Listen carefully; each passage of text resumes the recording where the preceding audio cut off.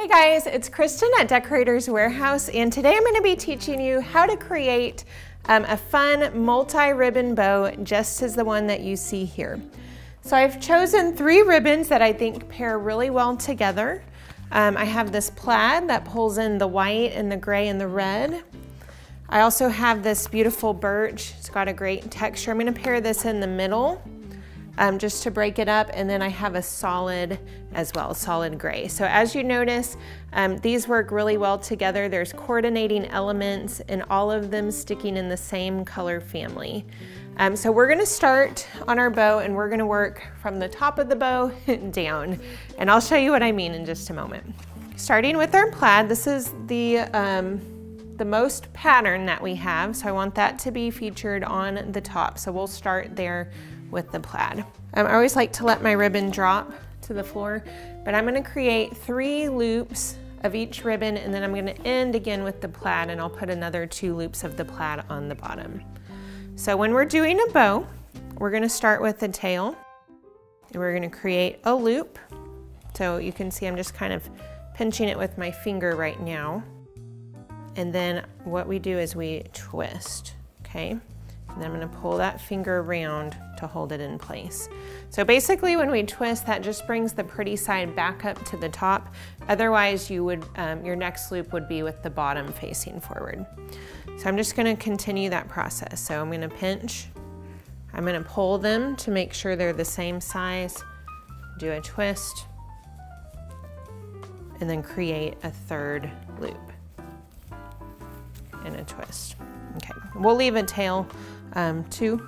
So right now I'm just gonna cut it a little bit longer than I think that I need. Just add a diagonal. And then I'm gonna come in with my next ribbon, which will be this beautiful birch. And since my tail is coming out this direction, I'm gonna start with the tail with the birch, but I'm gonna start it going the other direction. I'm gonna pinch it, and I'm gonna place it here on the bottom. And then we're just gonna repeat that process of three loops. So we've got a loop, and then twist it. Another loop, twist it, in a third loop. All right, I'm gonna cut a tail.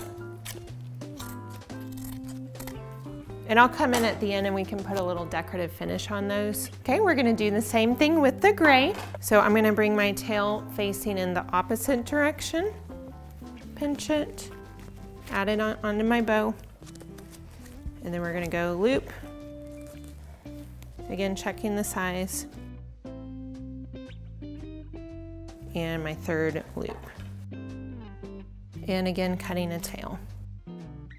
All right, now I could definitely stop there, um, but I do want to end on the red just since it's such a fun punch of color. So I'm going to add an additional two loops using the red. So I'll put my tail to the other side, pinch and add it in. I'm to do a loop, twist it,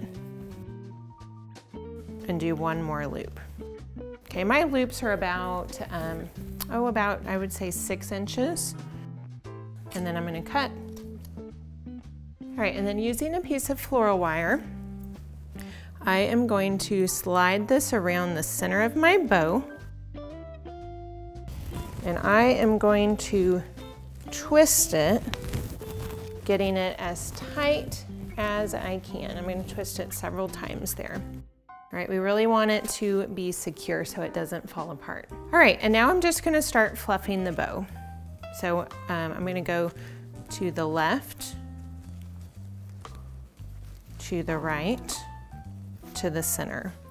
Okay, then I'm gonna bring this tail to the left, to the right, up. Then we're gonna go left, right, and up. Okay, and then we're gonna come to the other side. We'll go left, right, center, left, right, center, and then to the left. All right, so now everything's kind of in its place, um, but as you can see, it's, it needs to be shaped out. So I'm gonna go inside each loop. This is wired ribbon, so it'll hold its shape very nicely. And I'm just going to put my hand in there to open them up. I want those loops to look nice and big.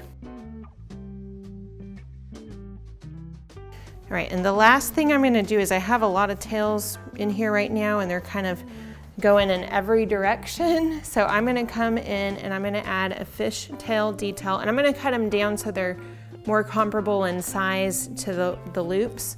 Um, and when I say a fishtail detail, I'm gonna fold it in half and cut at an angle. So it just creates a nice um, decorative detail. And I'm gonna continue to do the same thing on all of my tails.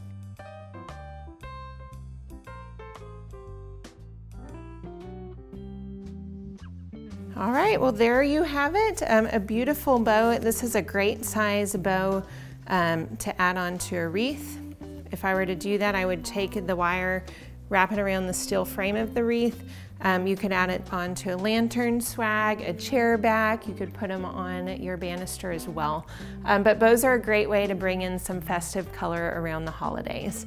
So we hope that this was helpful. If you liked it, please give us a thumbs up and subscribe to our station. Um, also, we're on Facebook and uh, Instagram as well, and online at www.decoratorswarehouse.com. I hope you have a Merry Christmas. Thank you for joining us.